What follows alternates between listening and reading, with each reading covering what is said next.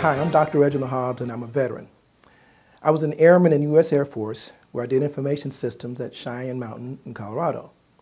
Here at ARL, I'm a senior research scientist and I manage a team of researchers doing human language technology. My younger brother, who joined the military about the same time I did, recently retired as a sergeant major.